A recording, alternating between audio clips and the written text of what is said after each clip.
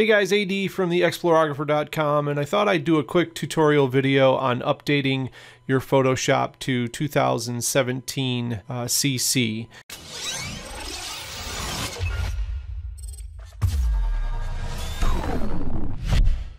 The ongoing problem seems to be during these updates is missing plugins. I'm going to show you how to get those back quite easily. All right, so uh, I've got my um, I've got my plugins uh, mostly loaded back here, but you can see I got ON1 and Topaz. They've worked out fine, but I'm missing Nik and a couple others.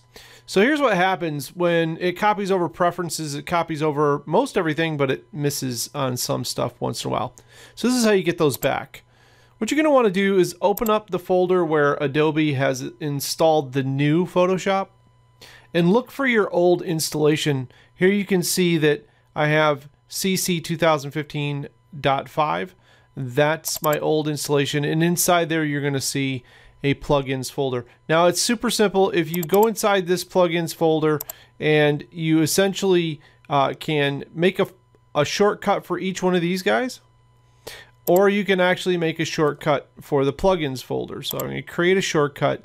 Makes that simple shortcut. We're just going to cut that shortcut and now back out to the new installation and then go into our plugins folder and then paste it.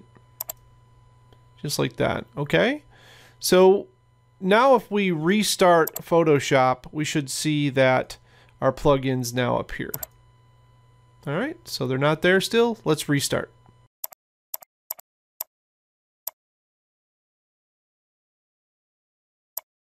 Okay here we are restarted and let's take a look. And there we go. You can see that all of my plugins are back. That simple. Uh, don't delete the old folders because that's where the links are all at, but it's just updating the reference to those old plugins. And we'll load up the Nik collections here just to make sure everything works just fine. And there you go. All right, that's how to update your plugins to make sure that they work with 2017 Adobe Photoshop. I hope you guys found this video informational and helpful. And please like and subscribe the video on my YouTube channel. Leave any comments if you have them. I'll be sure to try to help you guys out. Thanks so much. See you next time.